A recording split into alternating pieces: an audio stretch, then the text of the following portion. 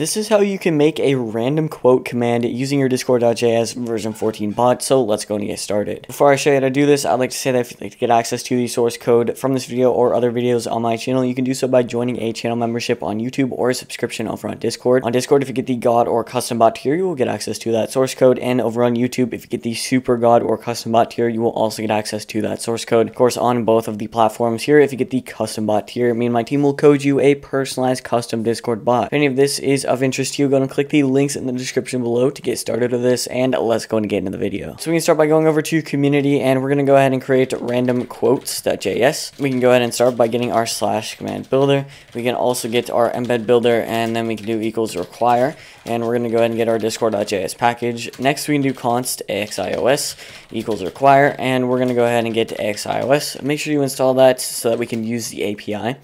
Then we can do module.exports. We're going to go ahead and open this up, and get our data, which is going to be our new slash command builder. Then we can go ahead and set a name. This is going to be our random quote command. And we can go ahead and set a description. We can say get a random quote. Then we can add a comma. We're going to do async execute. So we can go ahead and get our interaction. And we're going to go ahead and open this up. And here we're going to go ahead and defer a reply, just like this. And we're going to go ahead and set ephemeral to true just so that you are the only one who can see this message. Then we're going to go ahead and get all the data we need to put into the API to return our random quote.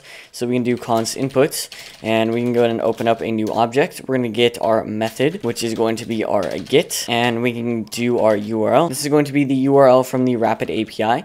The link to this API will be in the description below if you need to actually get this from it. Next, we're going to go ahead and get our headers, which is going to be our API key and our API host. So I've gone ahead and put this in. It's going to be the X Rapid API key and the X Rapid API host. So this is where you're going to go ahead and put your API key in.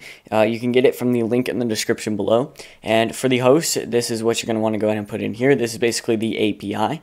Uh, just make sure you actually add your key in. I'm going to put mine in at the end of this code part just so I don't have to blur anything out. Next, we're going to go in and try, and we can do const output, and we can do equals await axios, our request, and we're going to go in and get our input. So we're basically putting our inputted values into the output variable, and then from there we can go ahead and write an embed, and we're going to do new embed builder, and we can just go ahead and set a color, and this is going to be blurple. And we're going to go ahead and set a description here. And we can go and open up a string. We're going to do output.data.content. And then I'm going to go ahead and copy in a symbol here. This is a like pretty long line symbol. You could also just do a dash. Um, I got this long line from just Googling it. Um, it makes the author look a little bit nicer. We can italicize this and we're going to go ahead and put in our output.data.originator.name. So we're going to go ahead and get the quote here and then we're going to go ahead and get the author of the quote. So the person who uh, is being quoted just so that you know who it came from, and it's not just like some random quote that you got from nowhere, basically. Then we can do await interaction to edit reply, and we can go ahead and get our embeds, and we're also going to go ahead and get our embed. You could go ahead and console.log output.data because there's some other pretty cool, interesting uh, information that this API will provide you with about the quote uh, that you could add, but for me, I'm just going to put in the quote. Then we can go ahead and catch an error, and we're going to go ahead and open this up. We can go ahead and console.log our error, just so the developer knows what's going on. And we can go ahead and await interaction, edit reply, and we can go ahead and say content. We're going to go ahead and say there was an error try again later. And with that, we are actually done with all of this code. So I'm going to go ahead and add my API key in now. If you haven't done so, please do so now. And after you do that, we can go ahead and save the file, restart the bot, and test this out. Alright, so over on the Discord server, we can go ahead and get our random quotes command. And all we have to do is just send it because there's no input uh, with a string.